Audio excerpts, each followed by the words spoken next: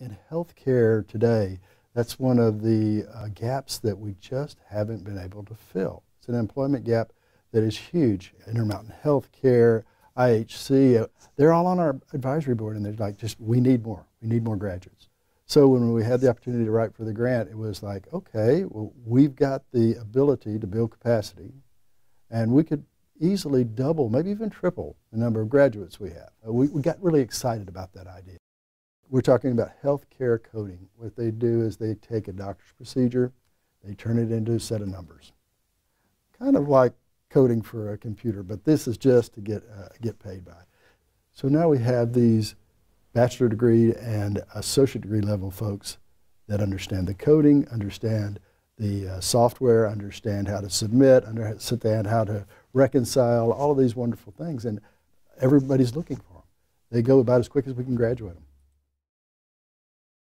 And we pulled the right group of people together, workforce services, uh, our, our SWIB, the State uh, Workforce Investment Board, uh, employers, our career services, people from our program, everybody that we could think of. We pulled them all together and started brainstorming about, well, what are we going to do? How are we going to collect this data and maintain FERPA? Because we've got to. It's a requirement of this $2.5 million grant we got. So all they had to do is assign a cohort uh, number to our new students' W numbers, which takes the personal identification out of it. They were able to then give us the demographic data, the uh, academic data in aggregate, so we couldn't identify it with the student, so their rights were protected. They also had a mechanism working through our system of higher education and the Department of Workforce Services to collect wage data as well as employment data. So we just really used the same model and the same um, method. We just had to set it up at different times.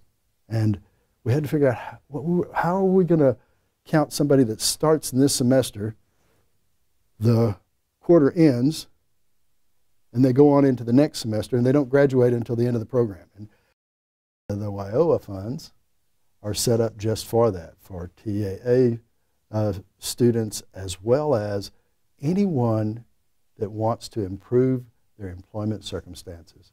So we had actually people that were in their two years of a master's program that were working, had a family, and since they were their master's program was in a high demand, high pay area, the uh, Department of Workforce Services uh, funded their tuition and stipends.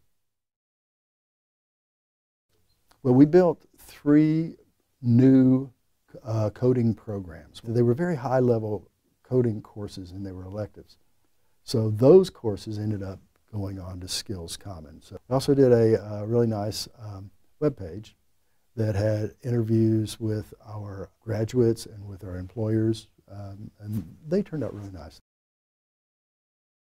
Problem solving with that team itself is what drove us to say, hey, you know, I really believe we can have a meeting with the dean of uh, uh, Southern Utah University and explain our situation, and they will agree this is a great idea for us to present our coursework to their students.